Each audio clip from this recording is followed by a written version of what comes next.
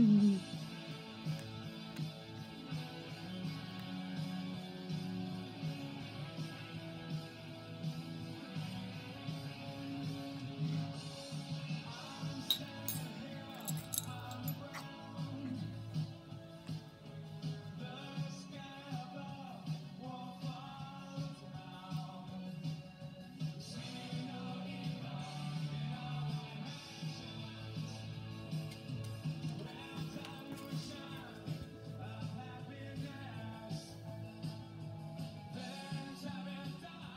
Cornwallis.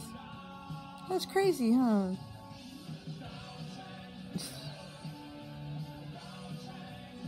That's crazy, huh, Cornwallis?